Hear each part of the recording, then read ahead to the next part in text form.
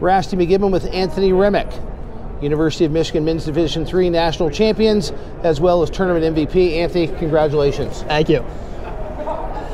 You uh, had just told me um, you're, you're, you personally have played against Hope three times this year, had lost three times. How, how do you keep how do you keep something like that from getting in your head, you know, heading into the national tournament against someone you know that's beaten you three times? Yeah, it's definitely difficult to do. I think it kind of comes with trust in the defenseman in front of me, trust in the team that they're going to put in goals for me, as they did today. We got five, so I think that's kind of the key thing, just trusting in my team.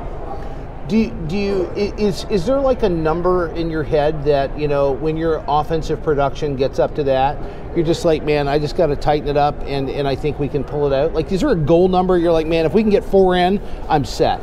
Yeah, I think honestly, not really. I think I, as a goalie, I just have to be focused the whole time. You know, like we saw Hope today, we had we had a bunch of goals, we had a lead, but they came back, put a couple in. So I think no matter how many goals we have, always got to stay focused. You know, in talking to some of your teammates, you, you know, the plan was to come out uh, hot and heavy, and I think you guys uh, accomplished that. What, what, what was the message going into the uh, first and second intermission from your coaching staff and the and the leadership on your team?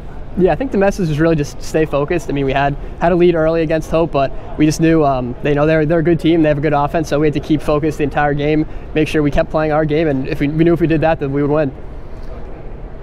The four final teams in Men's Division Three, all from the state of Michigan. Um, what, what what do you think that that says about hockey in the Midwest or you know in the North Midwest for uh, having all four teams here?